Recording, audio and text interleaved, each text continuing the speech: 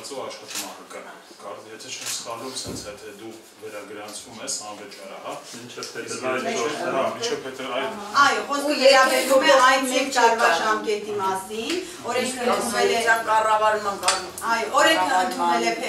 դեկտեմբերին, ուժի մեջ է մտել փետրվարի 4-ից։ Եթե դուք մինչև 2018 թվականի փետրվարի 4-ը կատարում եք համապատասխան փոփոխություններ վերագրանցումներ, ապա պետական դուրքը չեք վճարում։ Իսկ այդ հարցը մոկտում եք դուք։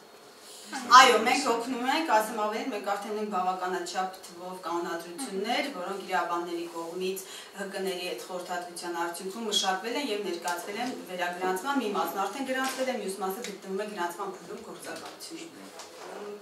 Ուրեմն նայեք, ը, խախտումներ միշտ լինում են։ Դրա համար եթե դուք նման խախտում ունենում եք, կարող եք դիմել եւ մեզ եւ մեր մարզային գրասենյակներ, եղել են ՀԿ-ների կողմից բարձրաձայնվել են տարբեր պատճառաբանություններով, կարող մերժվել են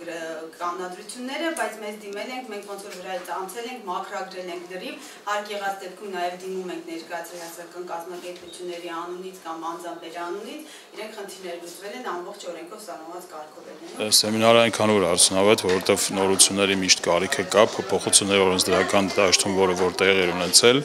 առանց դրան գիտակցելու հասարակական ոլորտում դժվար թե կարողանանք աշխատել, որովհետև խորքային փոփոխություններ կան, իսկ իրավագիտակցության բարձրացման առումով շատ կարևոր է, որ հաճախակի լինեն նման սեմինարներ, որ օգտակար է եւ մնացած մեր աշխատանքների կազմակերպման հարցում։ Կոնկրետ ձեզ համար օգտակար է։ Կոնկրետ մեր համար, մեր կազմակերպության համար հասարակական օգտակար էր։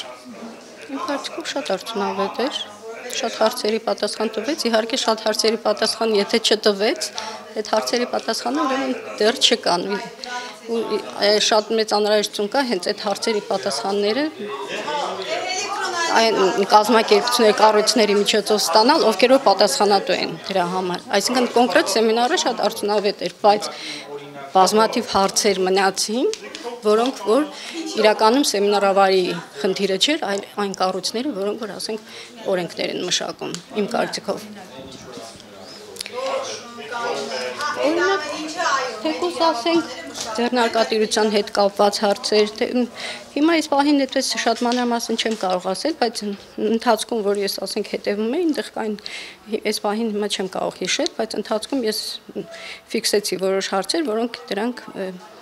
միևնույն է, այդ հարցերի պատասխանները հստակ չէին, օրենսդրորեն հստակեցված չէին։